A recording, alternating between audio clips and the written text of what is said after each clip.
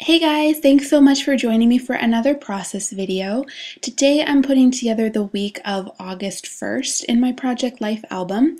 Um, so here I'm using a Studio Calico card um, that says Hello Sunshine and I wanted to do something a little bit different with the stamping so I am stamping this right here sentiment that came in an old Week in the Life uh, kit by Ali Edwards.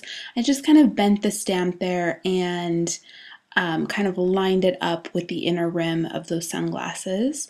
And then I stamped a little circle label there and added my date directly inside.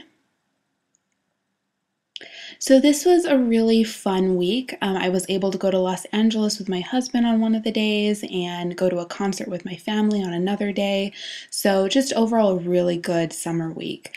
Um, so I wanted to put together this little meter and um, this is a stamp that came in an old Studio Calico kit and you have the meter and then it also has um, an arrow that's separate so you can point it in any direction and it comes with really cute sentiments like fun meter, turn it up, excitement level, thrill meter, um, really some fun sentiments there. So I used the fun meter and stamped it directly on the card.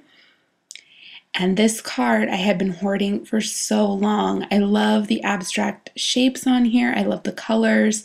It just seemed to work really well with this, um, this week's photos and overall feel. So I decided to use it here. And then for this photo of the coffee cups, um, it was a little bit out of the way, so we took a drive to get some coffee. It was on the way to where we were going, but we don't get to go here all the time. So I stamped that little car. Um, you see me rocking it back and forth. That's just because the photo is a little bit more raised, so to get a nice clear image onto the photo and the card, just kind of rocked it back and forth as carefully as I could. And then um, I stamped, but first coffee right next to it. And then on this photo of my husband and I, um, I just added a little bit of flair there from Your Craft. It says, I love your guts. And I really, I couldn't figure out what I wanted to add to that Feed Me and Tell Me I'm Pretty card. Um, this whole time I was kind of thinking, what can I add there? I think it would have been fine on its own, but I do end up stamping something a little bit later on. So on this uh, food photo, this delicious food, um, I stamped two arrows pointing to the food and then I stamped eat out on top of just some yellow cardstock and then I cut that out um, just to add a little bit of contrast. Um, I didn't want to stamp the eat out directly on top of the arrows there. Um, I just, I think that little pop of yellow color kind of balances out the photo as well. So. And then I had a couple of photos from the concert and I also had a ticket stub. So I decided to make a flip up pocket for this one.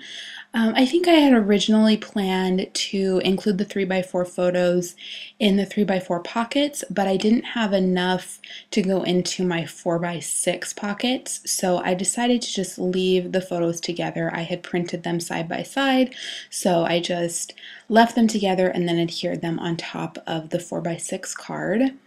Um, and then I'm cutting out this Summer Days um, stamp. It's a stamp that came in an old Kelly Purkey stamp set and I stamped it onto pink cardstock and then I just cut it out to use the little banner on top of the photos here.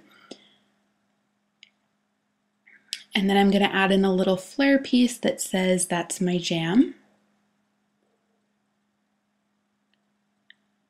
And if you've seen my day in the life uh, process video, you have seen me put together many flip up cards.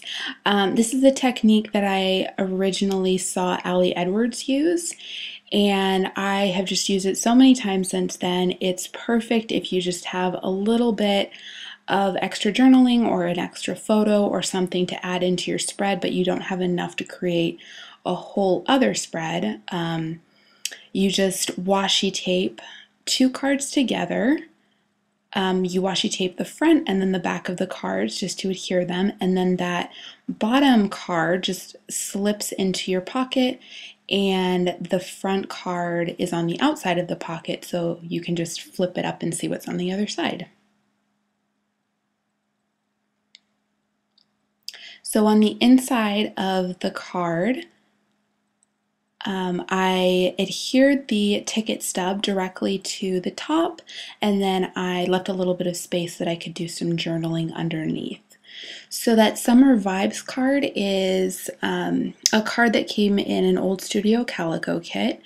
And I really, I love this card, but I think it's a little bit too dark for one of my typical spreads in my Project Life album. So I've been holding on to it for a while and I'm really happy I was able to use it here um, just on the inside of the flip up card so that it's not something that's kind of paired with any of the photos. It's just kind of an extra sort of sneak at something once you actually um, flip up that card.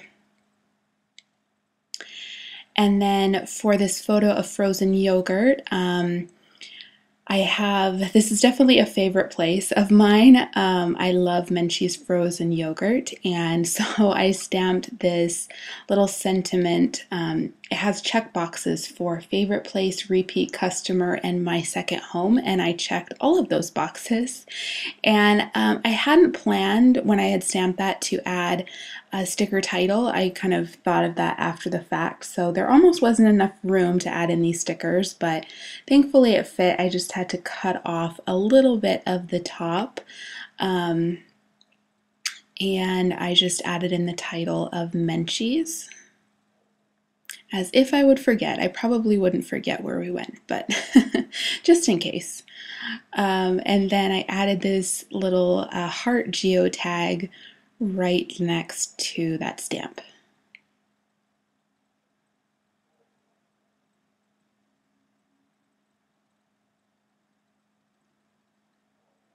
So I kept thinking, what can I do to that feed me and tell me I'm pretty card? And again, I think it would have been totally fine on its own, but I just wanted to add a little something. So I pulled out a Gossamer Blue stamp set and it has this little pineapple. Um, the pineapple has nothing to do with the spread other than the fact that it's summer and I just thought it was really cute. So uh, I stamped that and it's just sort of a subtle little add-on right there. So that completes my spread for this week and thank you so much for watching. I will see you in my next video.